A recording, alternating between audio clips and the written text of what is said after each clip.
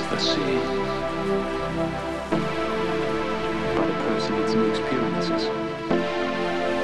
They join something deep inside, allowing to grow. Without change,